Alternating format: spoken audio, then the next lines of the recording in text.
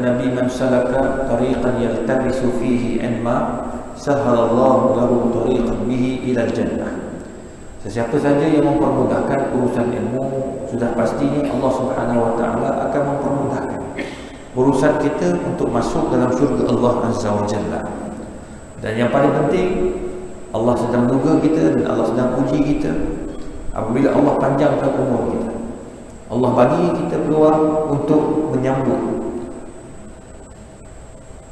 Ulang tahun kemerdekaan Malaysia yang ke-62 Allah suruh kita bermuhasabah dan kita melihat bagaimana kita nak menghadapi kemerdekaan yang diajar oleh Nabi wasallam. Oleh sebab itu Allah sebut dalam surah Qasas ayat 77 apa kata Allah?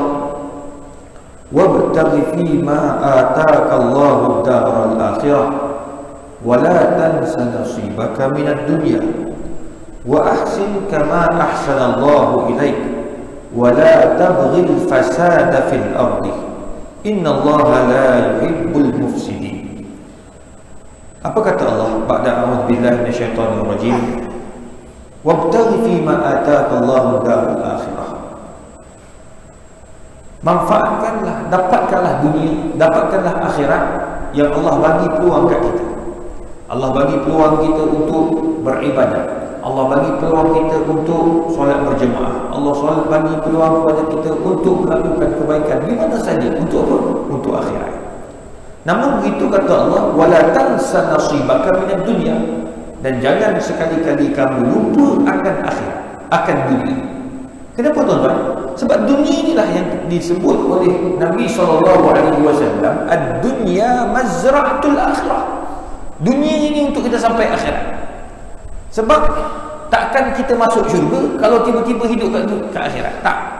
Allah bagi kita peluang untuk hidup atas muka bumi. Walaupun satu detik.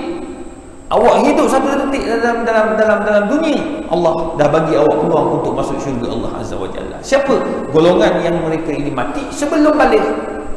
Allah bagi peluang dia masuk hidup kat dunia dan Allah bagi peluang dia masuk akhirat. Masuk akhirat dan terus masuk syurga Allah Taala. Bukan sekadar itu, bagi syafaat pula mak bapak dia.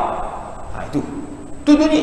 Manakala kita yang Allah bagi lepas balik ni tuan-tuan, Allah bagi, Allah nak tengok sejauh mana amalan kamu. Sebanyak mana amalan kamu. Bila kamu banyak melakukan amalan, itulah peluang untuk kamu masuk ke dalam syurga Allah Azza wa Jalla. Maka dunia itu perlu. Menjaga dunia itu perlu. Wa ahsin kama ahsanallahu ilaik. Dan paling penting Allah suruh buat Allah suruh kita buat baik atas muka bumi. Buat baik termasuklah kita meraihkan dan kita bergembira dengan menyambut hari kemerdekaan. Ada orang kata ustaz, mana ada kemerdekaan zaman Nabi? Tuan-tuan, ni apabila kita tak tahu sejarah, kita tak baca sejarah, kita tak balik sejarah, maka kita akan kata kemerdekaan itu tidak ada. Kemerdekaan dah ada zaman Nabi lagi. Bahkan Allah sebut inna fatahna laka fathan mubina. Sesungguhnya kami akan buka kota Mekah. Aku akan buka Rum. Aku akan buka Parsi. Banyak pembukaan-pembukaan berlaku zaman Nabi, zaman sahabat. Khususnya zaman Umar bin Khattab. Berapa banyak pembukaan kota-kota Islam. Tuan-tuan, Cordoba dibuka. Tetapi akhirnya jatuh kerana kita tidak menghargainya. Itu sebabnya tuan-tuan Islam suruh kita balik pada sejarah. Sebab sejarah kita tak boleh nak ubah.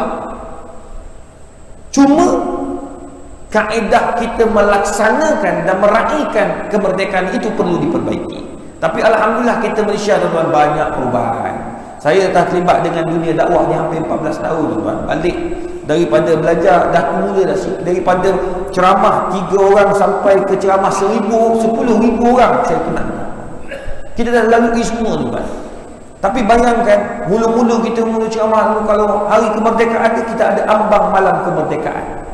Semua orang berjoget sana berjoget sini. Lepas tu artis-artis menyanyi Percampuran lelaki dan perempuan Lepas tu mula, mula, mula, mula naik, naik, naik, naik Sehinggalah satu apa surat terbuka saya buat Masa tu Menteri Wilayah Persekutuan Datuk Seri Tengku Adnan Tengku Mansur Zaman pemerintahan Datuk Seri Najib Nak buat Apa nama Sambutan Hari Kemerdekaan Sedangkan masa itu berlaku apa? Berlaku tsunami besar. Apa nama bukan tsunami besar? Berlaku banjir besar di Kelantan.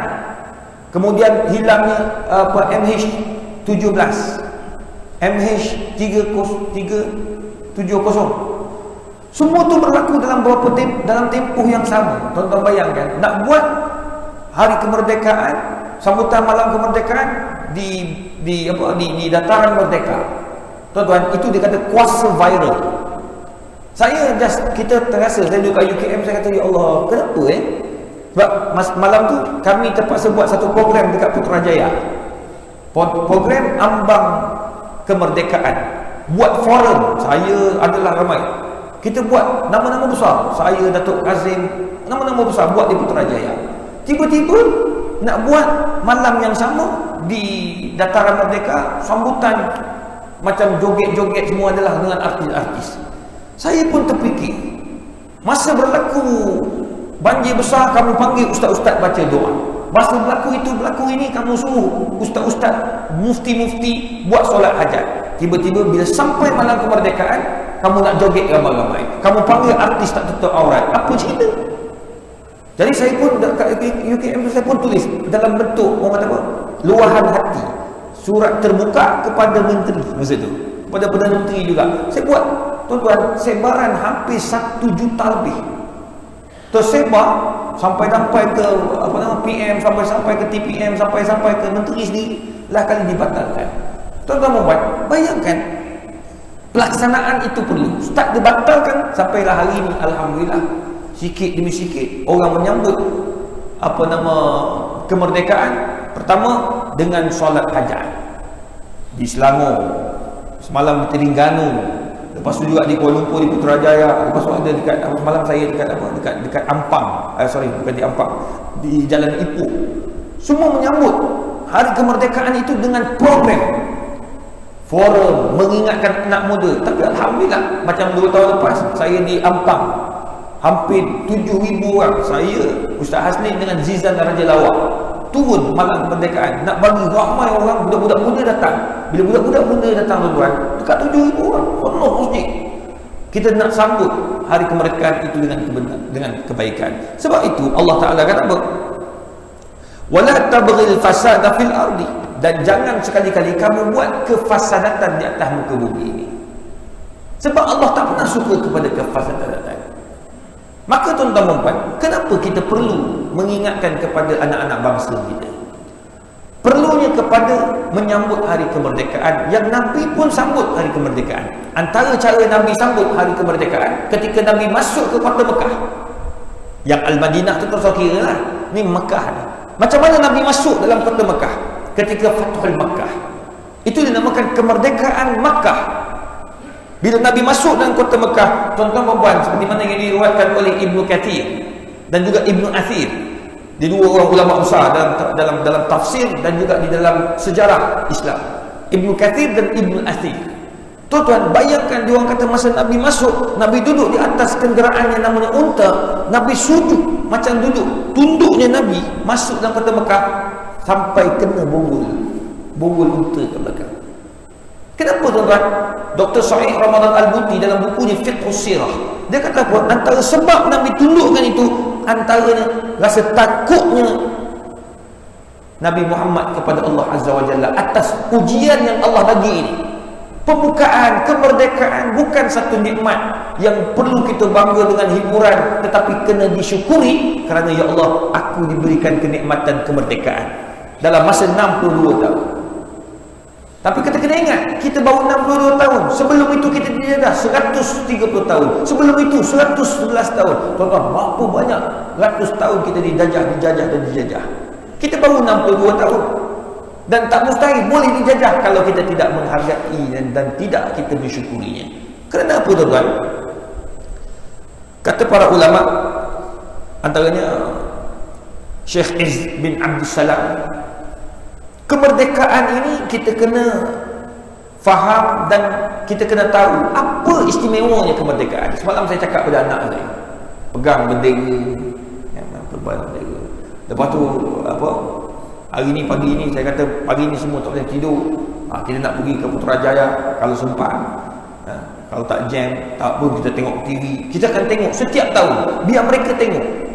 Kita, dia orang menghargai tentera mereka menghargai polis. Mereka menghargai semua kaki tangan-kaki tangan yang berusaha menjaga negara ini. Tuan-tuan puan, saya cakap pada anak saya, kata dia. Semalam kemudian dia tengok ada ramai polis tu kan. Saya kata adik, tengok. Dia kenal atuk saya nama Tok Bujal. Tok Bujal, dia ni sempatlah kan dia panggil moyang. Dah meninggal dah. Dia antara orang yang memperjuangkan negara. Atuk saya orang Melaka antara yang uh, dia cerita kalau masa dia kalau dia cerita ni mesti dia akan menangis masa dia meninggal umurnya 93 tahun. Tuan-tuan bayangkan dia kata atuk ingat lagi masa atuk nak pergi perang tu dia polis polis polis hutan. Sebelum kami pergi itu kami makan. Kan dia suka buat sambal sambal ikan bilis makan dengan nasi apa semua. Dia tak makan benda lain tak makan ayam dia makan sambal ikan bilis je dia kata makan tengah makan sama ikan bilis ni makan-makan. Makan bukan kan nasi dengan dengan ubi ubi kayu yang dia ambil kat hutan. Habis-habis makan tuan-tuan bayangkan dia duduk kat depan. Dia ketua masa tu. Kawan-kawan kat belakang. Tiba-tiba entah macam mana kawan-kawan duduk bincang-bincang. Jal kau duduk belakang Jal. Dia suruh Bujal duduk belakang. Bujal pergi belakang. Bujal pergi belakang tak sampai berapa minit dia berjalan kena ambush dengan dengan dengan apa? Dengan dengan komunis. Tuan-tuan bayangkan kena ambush dengan komunis tu.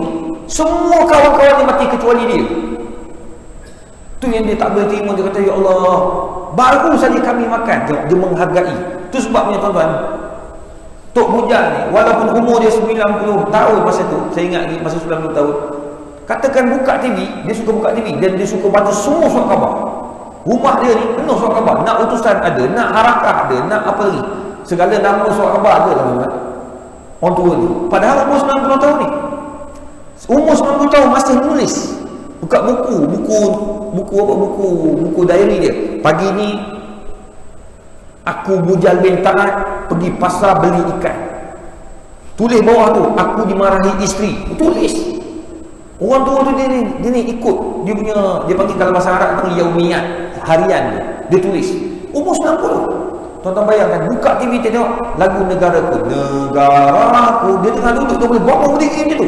Itu dia panggil kenegaraan dia kata kau orang takkan rasa apa yang aku rasa. Kau tak rasa apa yang nenek kau rasa. Nenek kau tu pernah diminumkan oleh Jepun. Minum apa? Minum Allah Muhammad. Air sabut. Kawan-kawan nenek semua mati. Nenek ni Allah panjangkan umur. Sehingga lahirlah mak kau. Sehingga lahirlah kau wahai Ishak. Saya ingat ayah atuk saya cakap. Sebelum dia meninggal dunia. Tuan-tuan nak bagi tahu kita tak rasa sebab dia orang rasa. Kita tak rasa apa yang Syria rasa hari ini. Tempat saya belajar, tempat Datuk Seri Mufti Wilayah Persekutuan belajar. Tuan-tuan, Syria antara negara yang antara yang paling cantik. Selalu saya sebut, bersyukurlah. Kita di di Syria, negara dia tak sama macam macam Jordan. Jordan tak ada hasil bumi, tapi di Syria ada hasil bumi. Tuan-tuan, di Syria bukan saja ada hasil bumi, ada pelancongan. Dia sama macam Mesir. Yang ketiga dia ada tempat-tempat sejarah, tempat nabi-nabi, tempat para sahabat radhiyallahu anhu cukup banyak. Orang-orang dia cantik-cantik, handsome-handsome. Tetapi negara Arab juga dikenali sebagai apa? Jannatut Ta'am. Dipanggil syurga makanan Syria ni. Dalam banyak-banyak negara Arab, saya dah pergi ke Jordan, saya dah pergi ke Syria, saya dah pergi ke Dubai, saya dah pergi banyak negara Arab, hampir banyak semua yang saya pergi. Yang sedap makanan ni dua tempat ni yang original. Pertama Yaman. Yang tuan-tuan pergi ke Saudi itu makanan original dia lain. Yang dia makan dekat anak Saudi tu itu makanan orang Yaman. Dia panggil uh, apa? Uh, mandi lah apa semua tu. Uh, itu Yaman. Yaman masak. Kalau orang Yaman masak sedap. Orang Arab Saudi dia belajar daripada Yaman. That is bukan originality dia. Tambah-tambah kalau kita masak kat, kat Malaysia lagilah tak jadi tuan orang Arab Saudi masak pun jadi orang Yaman je jadi masak. Itu Yaman. Yang kedua Syria. Syria masakan dia sedap. Kuih-kuih tu ribu kuih-kuih. Yang memberi sedap-sedap. Tapi tuan-tuan apa jadi sekarang? Tidak ada apa. Segala nama-nama syurga itu hilang tuan-tuan. Sekelip mata. Hanya kerana tidak menghargai kemerdekaan. Padahal dia orang merdeka daripada apa? daripada Perancis. Tu orang dia tak boleh cakap Inggeris. Tapi dia boleh cakap Perancis tapi nak bagi tahu tuan-tuan mereka sekarang ini habis hancur negara sampaikan uh, apa ni Mapim Eliza Hilmi, Dr. Sani, dia pergi ke sana hantar bantuan. Ratusan juta tuan hantar. Juta pergi hantar sana. Puluhan juta pergi hantar. Pergi hantar tuan nangis tuan. Sampai-sampai bagi duit. Bagi duit ni 200 dolar, 300 dolar. Dia ambil duit dia bagi balik. Please take your money. Ambil duit kamu ni balik. Kami tak nak duit. We are, kami nak makan. Kami nak makanan. Duit kami tak nak. Bayangkan tuan-tuan, duit dah tak bernilai. Yang nak bernilai adalah makanan. Kemudian salah seorang wakil mafin tu pergi tengok. Kata korang nak makan, ni aku nak sediakan makan. Nak, nak, nak. Anak-anak tu penuh. Lepas tu ada kakak yang paling tua. Dia tarik Heliza Helmi. Artis tu. Yang wakil mafin. Pegang Heliza Helmi tarik. Heliza tanya, apa yang kau makan sebelum ni? Dia tarik-tarik, buka. Buka ada apa? Buka Allah Muhammad. Apa nama tu? Masak. Tu periuk. Periuk lah boleh tahan pun buat besi kan kemek-kemek ni periuk. Yang lain hancur semua tuan-tuan. Periuk ada. Dia buka periuk tengok ada kekuning-kuningan dia tanya apa benda ni? Kau masak apa ni? Dia macam kuning-kuning ni tuan-tuan. Hitam-hitam sikit. Kata kau masak apa ni? Macam macam macam tepung hancur gitu dia kata inilah makanan kami sepanjang hampir 2, 3, 4 bulan ni. Apa ni? Cari-cari. Katanya itulah kotak tuan-tuan kotak. Kotak dia orang rebus makan. Sebab tak ada makanan. Kan kotak kertas kan daripada ni enggak apa nama? Tumbuh-tumbuhan juga dia orang buat kan. Allah. Makan kotak the last choice. Tanya Eliza dia orang tak makan anjing ke? Memang kalau dah darurat makan anjing dia orang kata apa ustaz sepanjang kami duduk sana 10 hari tak jumpa anjing tak jumpa kucing. Maksudnya habis semua dimakan dah. Kita tak menghargai tuan-tuan. Itu pun kita main-main lagi. Bendera terbalik atas bawah bang apa bang. Orang kata ustaz zaman Nabi tak ada bendera. Tengok anak muda dia tak balik pada sejarah. Masa perang bandar benda yang dipegang oleh sahabat dia pegang oleh Nabi adalah bendera. Apa bendera Nabi? Bendera Nabi itu dipegang ketika peperangan badar yang pegang antaranya Musa bin Umair bendera Nabi warna hitam tulis la ilaha illallah Bendera tu tak boleh jatuh kata Nabi. Jangan jatuh. Kalau jatuh itu tanda kita kalah. Tuan-tuan, itu tandanya. Tetapi naik bulu roma saya cakap buat ni. Sebab this is benda yang kita kena hayati. Anak muda tak tahu bila sebut 31 Ogos. Ada baru ni budak muda saya saya sembang kita ni nak merdeka lah. Orang tu lah nak merdeka 31 Julai. Disebut Julai tuan-tuan. Masa tu lepas raya puasa. Julai apa ni? Ogos boleh dia. Tak ingat. Oh saya ingat lupa ustaz. Wah, ini tak boleh lupa lah tuan-tuan. 31 Ogos macam kota Fatul Makkah pembukaannya. Kenapa perlu menghayati bulan bulan kemerdekaan? Pertama kata Syekh Aiz bin Abi Salam kita dapat membudayakan kita punya budaya. Ni kita punya budaya. Apa budaya kita? Sebab kita merdeka kita boleh budaya. Pakai baju Melayu. Ini budaya kita. Jubah budaya orang Arab. Selain ia sunnah Nabi Muhammad SAW Tapi sunnah Nabi jubah secara umum. Jubah Nabi dia lebas Dia panggil abaya besar dan macam-macam lagi. Penjelasan yang detail oleh Imam Al-Bukhari Dan Ibn Hajar Al-Asqalani Tentang pakaian Nabi Muhammad SAW Tak ada masalah. Pakai tutup aurat itulah sunnah Nabi. Cuma jubah adalah budaya. Tuan-tuan pergi Qatar Itu budaya dia. Tuan-tuan pergi Kuwait Budaya dia jubah. Sekarang cumanya dia orang dah, dah, dah memodernasikan dia orang punya kehidupan dah mula pakai tie, coat, bow tak ada masalah. Tutup aurat masih lagi. Tapi budaya tu dia jaga. Hari raya dia orang akan pakai baju jubah. Jubah yang paling cantik mencecah ribuan sebab itu adalah baju budayaan kebangsaannya. Kita kebangsaan kita baju Melayu orang Pakistan dia punya baju kebangsaan dia kurta. Nampak tak? Tapi tuan-tuan puan ada sebahagian orang dia menggadaikan budaya itu. Itu sebabnya kata Syekh Iz bin Amir Salam kebudayaan dapat kita bangkitkan apabila kita berjaya menjadi sebuah negara yang merdeka orang Arab. Dia ada kemerdekaan bila Nabi masuk dalam Al-Madinah kemerdekaan. Orang Arab freedom. Bebas. Bebas dia apa? belenggu Yahudi laknatullahi alaihi saya selalu sebut masa Nabi masuk dalam Al-Madinah ekonomi dipegang oleh orang Yahudi. Orang Arab ada tanah dia punya tanah dia punya tapi dia malas dia bagikan dia pajakkan kepada orang Yahudi. Orang Yahudi hidupkan tanah tu dia tanam dia ni jadilah kebun-kebun tamar. Kebun-kebun tamar ni dah ada sebelum Nabi datang lagi. Siapa yang tanam? Yahudi. Nabi datang, Nabi teruskan. Cuma Nabi bertambah baikkan kaedah. Penjagaan kebun-kebun itu. Dulu Yahudi jaga. Siapa yang kerja? orang Arab nampak tak? bapak dia malas ni tanah kau ambil lah. Yahudi kau jaga kau bagi ke aku bulan-bulan seribu dinar atau sepuluh ribu dinar. Orang Arab apa ni orang Yahudi untung daripada tanah tu seratus ribu dinar. Sepuluh ribu dinar dia boleh untung dengan begitu besar. Tapi tuan-tuan bila Nabi masuk Nabi berjaya membudayakan. Membudayakan orang Ansar dengan orang Muhajir. Duduk di dalam sebuah negara yang dinamakan Al-Madinah itu budaya dia ada. Nabi kekalkan yang baik-baik yang Ansar biasa buat. Macam contoh Hari Raya. Hari Raya orang perempuan dia menyanyi. Nabi tak larang. Itu yang ada dalil. Orang boleh menyanyi itu orang perempuan suara perempuan bukan aurat. Ada dalil. Sebab ada kes menyanyi dalam rumah Nabi SAW itu satu. Kita berjaya membudayakannya. Budayakan kita punya budaya. Our culture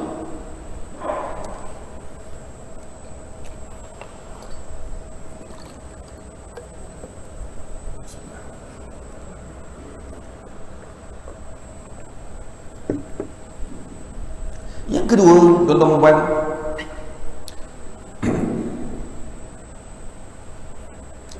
macam contoh lah tuan-tuan. Budaya kita budaya orang Islam. Bila kita uh, sorry bersin. Kita bersin kita ajak diajak oleh Nabi tashmi tasmitul atish. Asyam! Kita yang bersin ni alhamdulillah.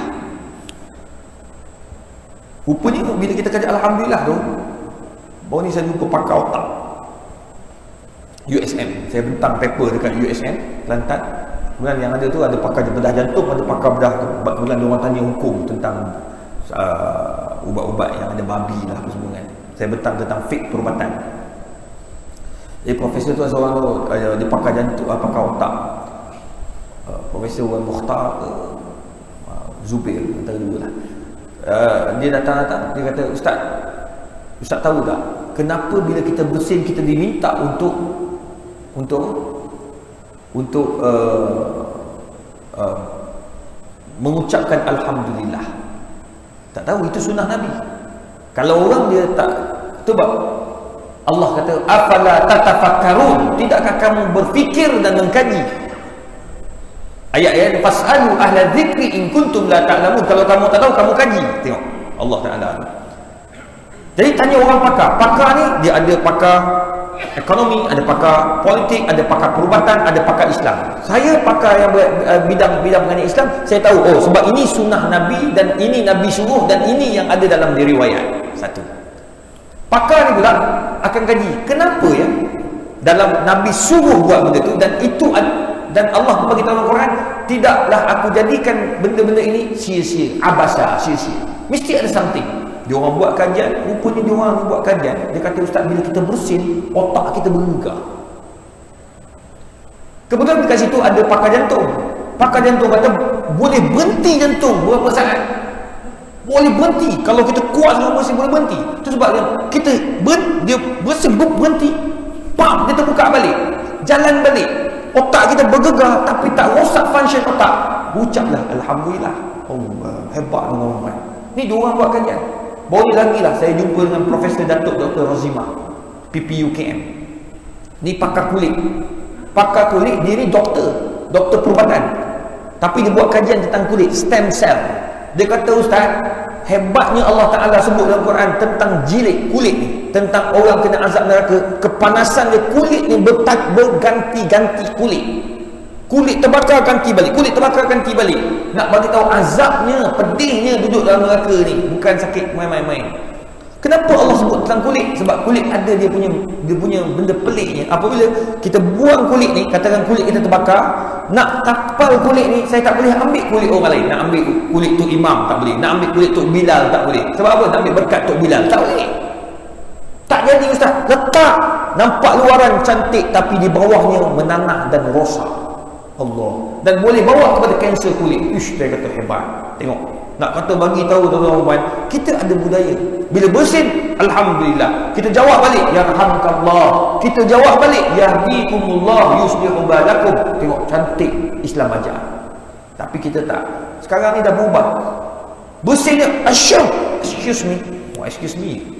Alhamdulillah mana? Tak kisah nak excuse me tu. Excuse me, Alhamdulillah. Ada masalah. Atau Alhamdulillah, excuse me. Boleh, tak ada masalah. Yang penting wujudkan sunnah dalam hidup kita. Tak, budaya lupa terus. Maklumlah duduk kat UK lama, buat PhD 3 tahun. Excuse, excuse me. Hello, how are you? How are you?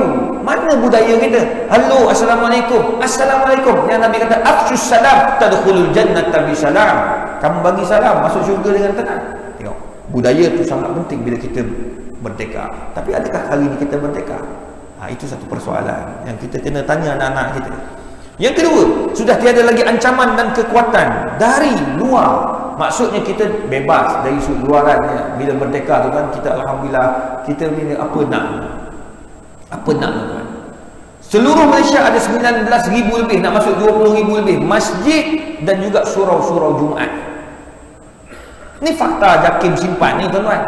Seluruh Malaysia, tuan-tuan bayangkan. Nak masjid, dapat bantuan daripada sana, dapat bantuan daripada sini. Semua dapat. Kita tak. Kalau tuan-tuan puan, kita bersyukur sebab kita bebas nak buat apa saja. Nak azan buat-buat, silakan. Cuma bila nak azan, datanglah masjid. Itu yang kita nak. Kalau tidak, kita akan jadi macam Singapura. Saya terlibat untuk kutipan di masjid-masjid Singapura. Dia orang panggil ceramah untuk buat kutipan. Sebab orang ramai ni. Bila buat kutipan, nak buat masjid 4 juta dolar. Apa nama? 4 juta dolar sin dolar.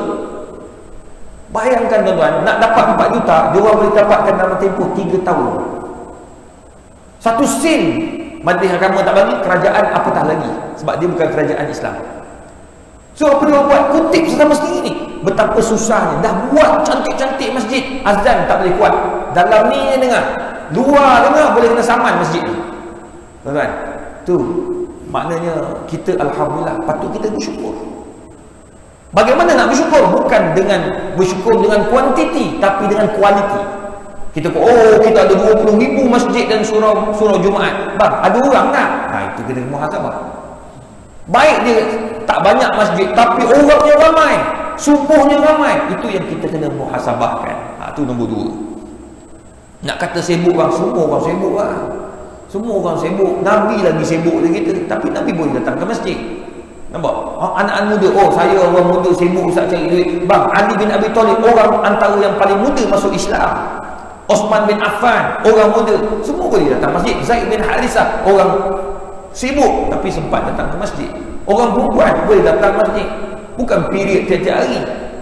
Tapi bila orang perempuan suruh datang masjid ada jawapan eh, kita kan orang perempuan makruh datang masjid.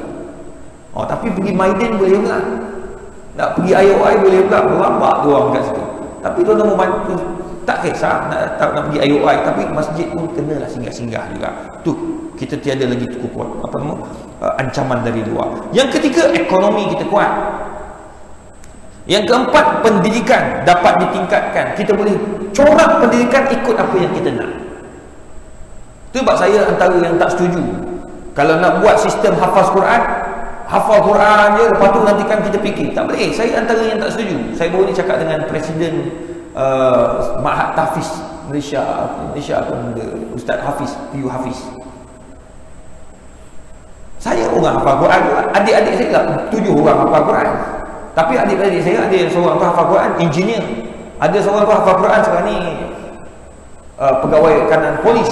Jadi nak bagi tahu tuan-tuan puan hafal Quran ni pun kita nak buat mahat tafiz saya selalu pesan. Ustaz-ustaz yang nak buat mahat tafiz buat boleh tapi please lah jaga kualiti. Satu. Yang kedua bila buat mahat tafiz pastikan ada orang pakar-pakar akademik kat situ. Kita kena corakkan. Budak ni kalau hafaz Quran habis nak pergi mana kena tahulah mana dia nak sambung nak sambung nak sambung. Macam uh, apa? Diploma-diploma yang ada. Habis ni dia boleh pergi UKM habis ni boleh pergi UM habis ni dia boleh pergi ke ke UC luar negara. Barulah terjamin anak bangsa kita. Jadi bila kita kuat kita boleh atur sistem pendidikan yang lebih baik. Ha, bukan kita ikut apa yang tak baik daripada orang bukan Islam tapi kita cuba buat yang terbaik. Kalau baik daripada orang bukan Islam pun kita boleh ambil, tak salah. Islam tak mengatakan tak boleh ambil daripada orang bukan Islam. Kita dibenarkan ambil. Cuma kita kita kombinasikan dengan cara yang cantik. Ha, itu penting. Yang keempat, pendidikan dapat dipertingkatkan.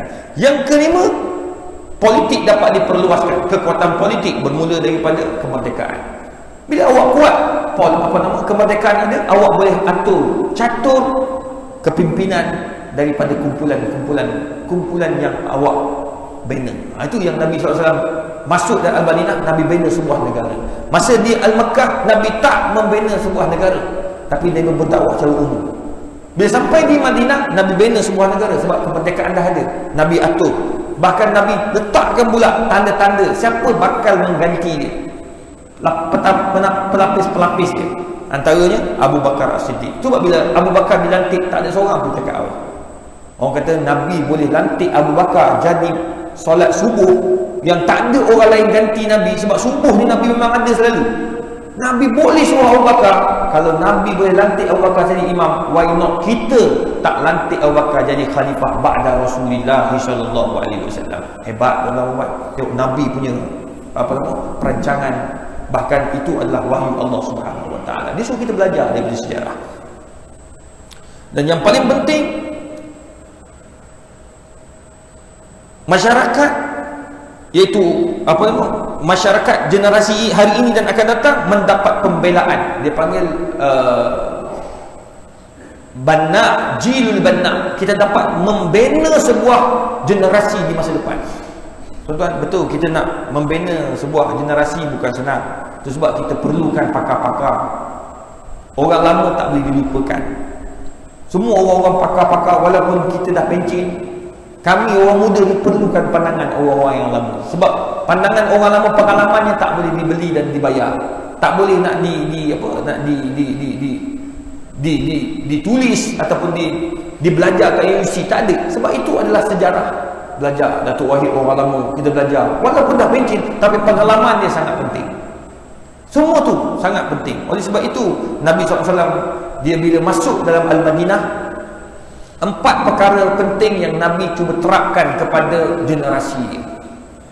Agar generasi-generasi akan tetap belajar. Ha, apa dia? Pertama bila Nabi masuk, Nabi tahu dua kumpulan yang keras. Dua kumpulan yang akan berkumpul dalam Al-Madinah. Satu kumpulan namakan Al-Ansar, satu kumpulan Al-Muhajir. Nabi tahu nak masuk macam mana ni?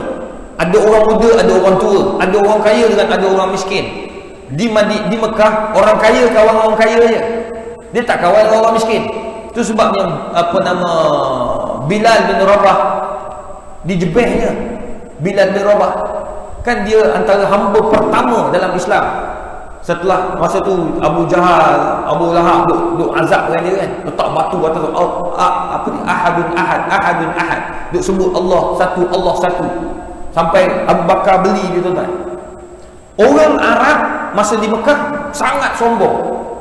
Yang kaya kawan kaya-kaya macam mana nak kenal kaya? Tengok berapa orang kat belakang dia. Ha, di sini ni riwayat yang kata pakai baju bawah daripada tumit masuk neraka. Zaman itu. Kerana kalau tuan-tuan nak kenal orang kaya tengok siapa kat belakang dia. Jubah dia berapa orang pegang? Siapa pegang jubah dia? Oh ada tiga orang. Oh kaya mamak ni. Macam kita eh, nilai orang ni kereta dia apa ada tiga kereta kaya mamak ni kita satu pun sesak nampak tak? Dia tiga. Kalau 18 tak nak cakap apa ni tiga. Ni berapa orang kat belakang? Tiga orang. Kaya.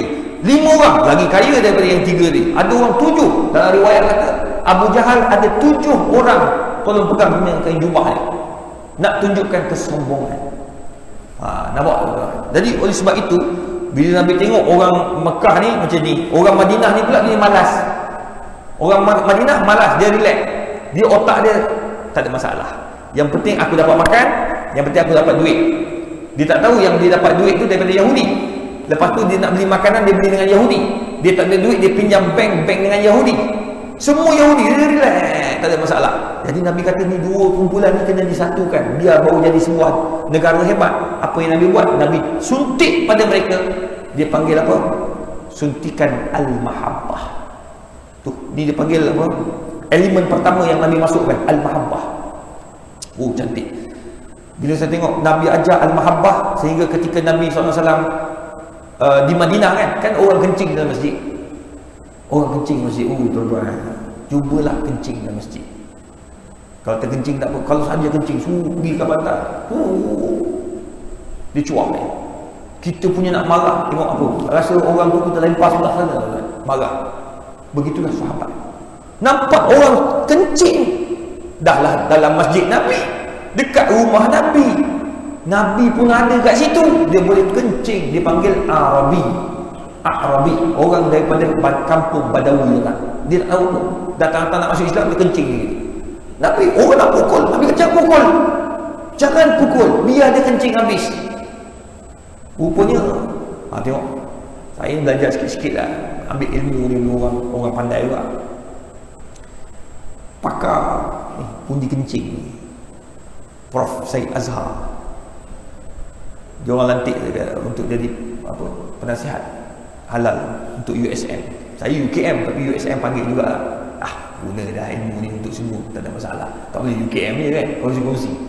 Jadi saya Azhar panggil saya pergi ke USM dia ni pakar apa tau? Dia, dia ni pakar sakit tuan sakit tuan ni macam-macam lah lemah batin ha, dia, dia profesor tapi dia mengajar tentang bagaimana nak jaga kekuatan orang lelaki orang perempuan bawa kenal dia orang kaji tu. Selalu kan yang mengajar ni bomo-bomo tukar urut je. Tuan-tuan, tarik, tarik dah kita. Tahu apa yang kita tarik. Dia tak. Dia ni profesor. Dia punya jurnal tak usah cakap lah. Buat profesor, dia ni dirujuk. Orang Arab Saudi rujuk macam mana nak kuatkan nafsu. Sebab orang Arab Saudi ada 3 4 bini. Tak tahan bah. Seminggu boleh pintam dia. Tapi dia datang ajar cara pemakanan, cara senaman, cara urutan.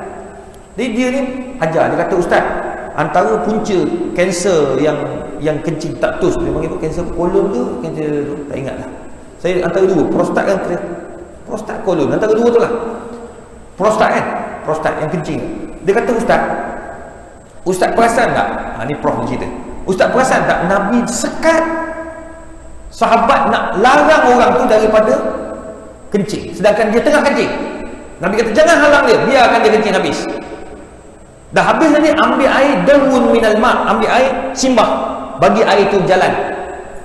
Nampak? Dia buat kajian rupanya tuan-tuan. Kita ni kalau kencing, kencing bagi habis. Imam Syafi'i pula kata, bila kamu kencing, jangan lupa al-istibra.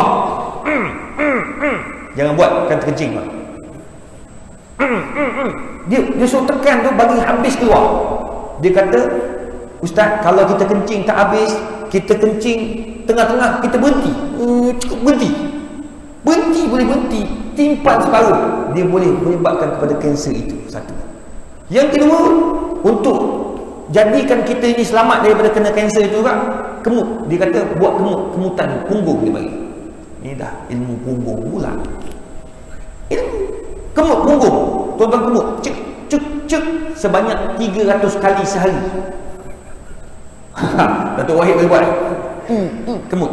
Kemut 300 kali Sebab dia kata bila kemut Saluran darah tu akan Akan apa? Dia akan push uh, Saluran dekat-dekat bahagian kencing tu Pundi kencing tu akan lagi, lagi. Dia tidak ada yang tersumbat. Jadi itu yang menyebabkan ke, apa dia ada sebutlah saintifik punya perubatan ni yang kembang kembang kempis kembang kempis tu. Dia sebab kena kanser tu kembang. Dia jadi kencing payah. Jadi benda tu dia, dia jadi cantik dia akan kemas. Tapi nak buat dia kata ustaz kalau dah tua baru nak buat tak boleh. Dia kena suruh budak-budak muda dia buat. Tapi dah tua ni buat tenang lah yang muda-muda ni tu saya saya sampai kan dia suruh buat masa tu juga. Ustaz kemut sekarang. Kemut kemut sebab profesor ni sebab yang cakap ni profesor kalau Tok Bomo pun tak ikut. Ni profesor. Tuan-tuan tulis tu profesor Syed Azhar. Ha, tu. USM sekarang ni pengarah apa ni perubatan USM di apa di di, di Pulau Pinang. Tuan-tuan nak bagi tahu? Hebat. Masukkan al-mahabbah kasih sayang. Jangan jangan jangan apa jangan jangan jangan putuskan dia orang kecil. Basuh je. Tengok yang pertama al-mahabbah nabi ajar kasih sayang tak ada nabi ajar keganasan nabi ajar orang yang perbalahan tak ada tu nombor pertama yang kedua nabi masukkan arif arif ni kelembutan kelem apa ni uh, lemah lembut dalam perbuatan Arif, Arif ni contoh Arif. Dia beza tau. Bila kita akan masuk nombor tiga takut tuan-tuan confuse. Yang kedua, yang kedua ni Arif tu. Arif pun contoh kan. Bismillahirrahmanirrahim. Arif. Tu Arif. Tak elok-elok. Dia yang tak eloknya kasar. Hari ini bukan Arif.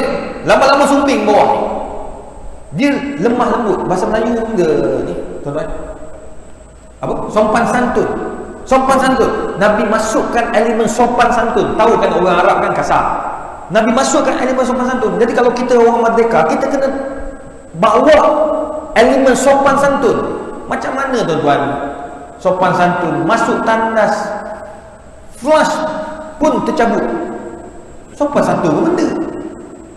Tu betul tak? Masuk tandas. Tempat tekan. Ya dia tekan. Benda tu kan tekan yang tekan tandas kan? Patut tekan sikit je lah macam tu.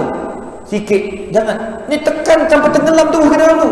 Punya kekuatan mentang-mentang kau sadar main besi 56 56 kilo kau angkat tu kau tekan itu sebab Nabi tegur Aisyah radhiyallahu anha. Apabila orang bercakap tentang Nabi di Madinah Nabi Aisyah marah. Dengar orang cerita tentang suami dia. Orang cerita tentang Rasulullah. Nabi masuk apa ni Aisyah masuk dalam rumah dia tolak pintu. Berdebam bunyi pintu. Rumah Nabi bukan besar tuan-tuan. Tu kubur Nabi tu dengan Abu Bakar dan Umar itulah rumah Nabi. Tapi yang tuan-tuan tengok tu dibesarkan di dalam tu ada satu pintu lagi satu lagi Al-Hujr bilik kecil. Itulah rumah Aisyah. Dia tutup bebam bergegar rumah. Nabi kata apa? Ar-Rifqa ya Aisyah tu Ar-Rifqa ya Aisyah tu Jangan kasar sangat. Santunlah pintu tu. Allah hebat Nabi. Santun pintu Rosaklah pintu. Kita hari ni apa yang tak rosak kan? Telekom Malaysia Masa Tan Sri Zamzam dia kata Kita rugi berapa banyak? Telefon awam Telefon awam kita rugi berapa banyak? Dekat UK masih ada telefon awam. Dekat apa nama negara-negara maju Masih ada telefon awam. Sebab kita walaupun kita ada handphone Ada time handphone tak boleh pakai tau. Baru ni saya nak pergi mana Saya ada ada mesyuarat. Sampai tengah jalan nak call penganjur tak boleh. Rupanya Selcom masa tu dia dia hang lebih kurang dalam satu jam Call masuk tak boleh Call keluar tak boleh. Allah kelam kamu tuan-tuan Tak tahu nak buat apa. Berhenti tepi jalan Jumpa ada satu kedai Ada orang makan rocah naik Tanya awak pakai Selcom ke? Tak. Ni Mak Aziz Boleh pinjam ke? kita cakap orang kenal tu lah. Bergambar dengan dia bagi free tu pakai telefon. Oh ustaz tu telefon tak pakai. Oh Selcom ada masalah. Ada seorang tu oh ya ustaz saya pun call Selcom tak boleh pakai. Tu yang ada Maxis pakai call. Kata saya kat sini. Oh orang datang ambil yang bestnya tuan-tuan. Kita ni ada negara dah sediakan telefon-telefon ni apa yang kita buat. Kalau negara yang merdeka dia jaga. Kita adakah kita jaga? Ha, itu yang kita kena muhasabah. Jalan dah cantik kita rosakkan jalan. Apa yang tak buat? Macam telefon tu memang jadi kat saya. Saya sampai ingat masa zaman belajar tu balik dari luar negara nak, nak balik sampai kat naik bas sampai kat Kelantan nak telefon ayah. Tengah-tengah telefon tu ada budak tengah sembang. Budak lelaki. Ingat lagi budak tu tengah awak awak janganlah tinggal saya ni. Nak telefon ni tunggu dekat 15 minit ni tunggu dia habis telefon ni. Tunggu bapa nak panggil bapak janganlah tinggalkan saya. Tolonglah tolonglah. Puk, perempuan tu mungkin tutup handphone kali. Tutup telefon. Oi saya. Ku dia tarik. Putus dah lah nombor dua nombor tiga pun rosak dah. Saya kata lah aku nak telefon macam mana? Telefon duit boleh masuk. Genggam dah tak ada. Tak guna dia belah macam tu je budak tu. Kalau dia hidup lagi dia tahu dia dengar ceramah dia insaf oleh budak tapi sungguh lah tuan-tuan dia lah aku kat belakang dia dulu. Aduh masa tu tengah belajar gitu kan macam mana tak rosak negara kita? Kita kita kena hargai. Itu dipanggil arif Nabi ajar har hargai barang jangan kencing dalam lubang. Nah, tengok arif jangan kencing dalam lubang. Sebab kencing dalam lubang pertama itu adalah rumah kepada apa? Rumah kepada ular. Rumah kepada binatang buas. Rumah kepada dog. Dog dalam lubang. Rumah kepada jin. Ha? ada saya ingat Datuk Arudin dia mengajar. Datuk Arudin dia ada orang datang-datang dia punya telur satu telur. Telur telur. ha, orang lelaki punya kan telur satu eh, besar betul. Ustaz Arun kan cerita masa tu kami kuliah. Besar betul apa yang kau buat. Dia pun panggil dalam dia nak bubat kan apa yang buat dia pun cerita lepas tu saya uh, kencing dalam lubang. Patutlah. Lepas tu Datuk Arun baca-baca doa kempit kecil balik. Maknanya dia, dia kau kencing atas kepala jin kata Allah Allah kan? Ha, kemuju atas kepala jin jin bagi kembang kan kalau keluar ular. Itu wabillahi taufik kau yang ular tu tapi nak bagi tahu lubang yang arif jaga barang-barang yang ada. Macam kita tuan-tuan masjid ada jaga. Kita ada jiran-jiran ni tolong jaga tuan-tuan. Ni arif arif jaga barang tu. Kan ni pagar kita kan? Pagar ni dia bersambung dengan jiran tu jangan rosakkan jangan apa nama cak rodohkan. Orang tengok tak cantik. Iaitu arif tu nombor dua. Nombor tiga al-layyin. Ha, nombor tiga tu pasal saya tekankan arif tu. Arif ni lembut al-layyin husnul fil kalam. Cakap dengan kata-kata yang indah. Tu buat Nabi tuan-tuan tengok bahasa dia semua kata-kata indah. Itu merdeka. Ini kita tak kutuk maki hamun tak boleh tuan-tuan. Kutuk bukan satu cara untuk berjaya dalam dalam dalam perjuangan. Tak boleh. Guna kata-kata maki lagi tak boleh. Nabi tuan-tuan walaupun Abu Sufyan dengan Hindun. Siapa tak kenal Abu Sufyan dengan Hindun? Abu Sufyan ketua antara yang bersungguh-sungguh dalam peperangan Uhud betul tak? Perang Uhud ni Nabi diajar dan sahabat diajar menang kalah menang. Menang lepas tu kalah. Kalah sehingga kan Hamzah radhiyallahu anhu meninggal dunia. Hindun siapa tak kenal? Yang belah hati ataupun jantung ambil jantung makan. Dalam riwayat Ibnu Kathir seperti mana disebut juga oleh uh, Profesor Dr. Syed Ramadan Al-Buti makan gigit nak tunjuk geramnya pada Hamzah ni. Sebab ikut Nabi Muhammad SAW padahal family ni. Tuan-tuan Nabi tak pernah kata Allah yal'anhuma Allah laknat mereka berdua. Tak pernah. Sehingga kerana Nabi tak pernah laknat akhirnya Abu Sufyan dengan Hindu adalah sahabat Nabi yang paling rapat di Madinah Al-Munawwarah. Allah Akbar. Ya. Nabi ajar cantik. That's why guna kata-kata yang indah nak marah pun Allah semoga kau ni murah rezeki lah panjang umur dibagi hidayah. Paling-paling pun dapat hidayah lah semua dapat hidayah lah. Dapat hidayah dapat hidayah Alhamdulillah innaka la tahdi man ahbabta walakin Allah yahdi man yasha. Allah bagi hidayah bukan kita. Tak, betul tak? kita duduk maki-maki-maki lah kali dia lah kawan baik kita. Ha, dah apa nak cakap? Minta maaf lah. Nah, malu. Minta maaf. Nak buat macam mana? Orang akan ingat kita walaupun orang akan ingat itu sebabnya jangan maki hamba. Nabi ingat? Walaupun orang dah buat Nabi baling salah jazur, baling tai untuk Nabi ingat? Walaupun kepada orang tu walaupun orang tu dah masuk Islam. Tapi Nabi lupakan.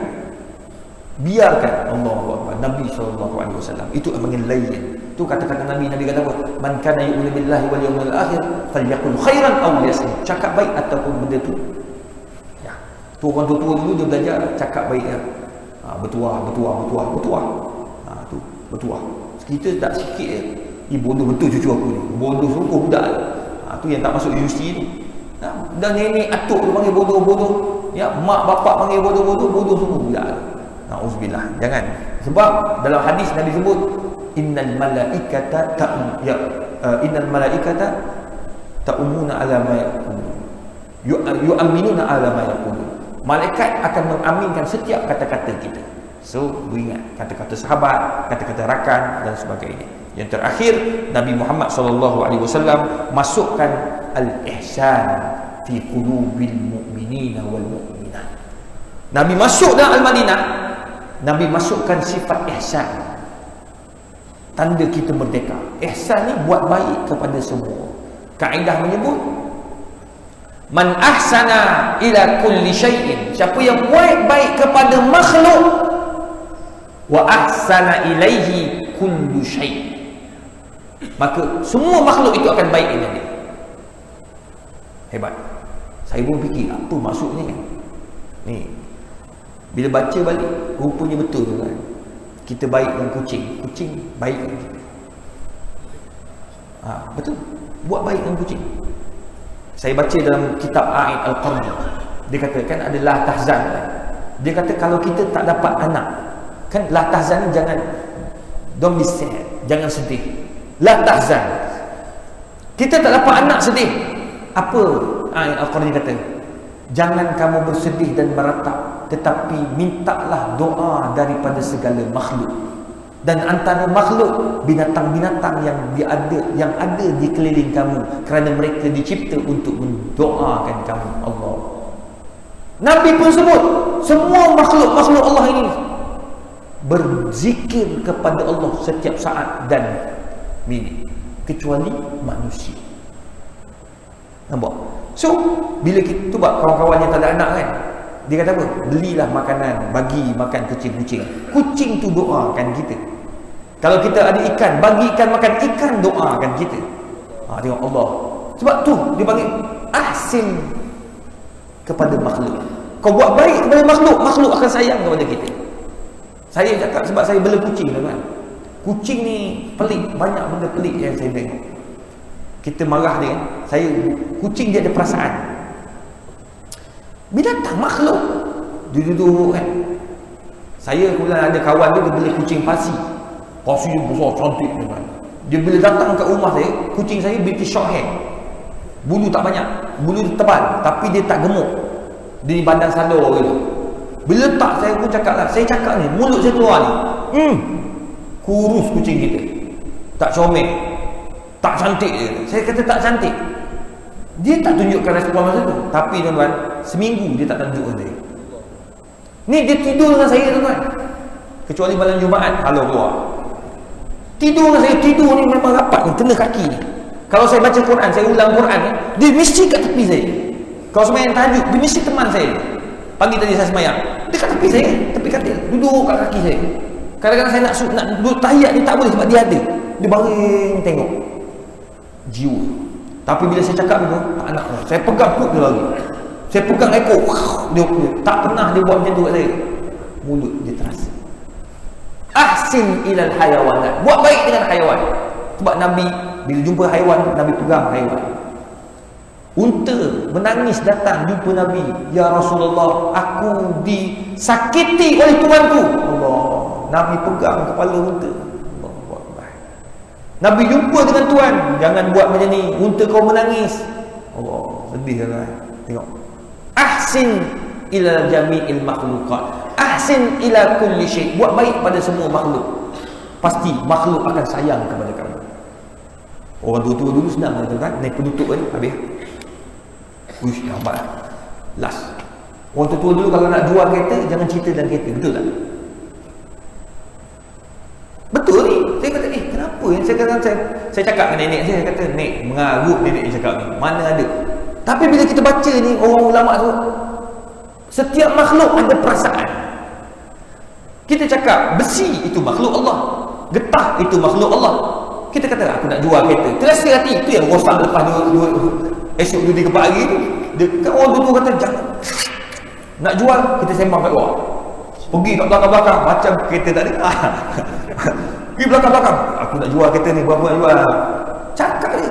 Tuan Umat Orang tua-tua dulu Kadang-kadang benda tu Relate lah juga Tuan Umat jadi sebenarnya empat benda yang disebut atau dibawa oleh Nabi dan di Nabi terapkan ketika dalam hijrah dalam kemerdekaan Nabi itu sebenarnya empat-empat benda ni kalau ada negara kita akan sebuah negara yang aman dan damai akan jadi sebuah negara yang cantik dan kita ada kolam kolam kita akan cantik. Kita ada pantai pantai kita bersih. Kita akan ada apa nama sungai. Sungai kita bersih. Kalau kita pergi Rom dia punya sungai dia cukup cantik. Di Itali dia punya sungai begitu cantik saya pun tak boleh terima tuan cantik betul. Macam mana boleh cantik punya tu? Sebab mereka menjiwai alam. Mereka ada ihsan.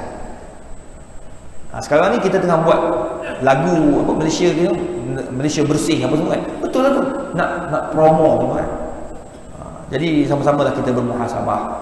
Ya, apa yang perlu kita muhasabah, kita muhasabah. Tambah-tambah di bulan uh, merdeka ini.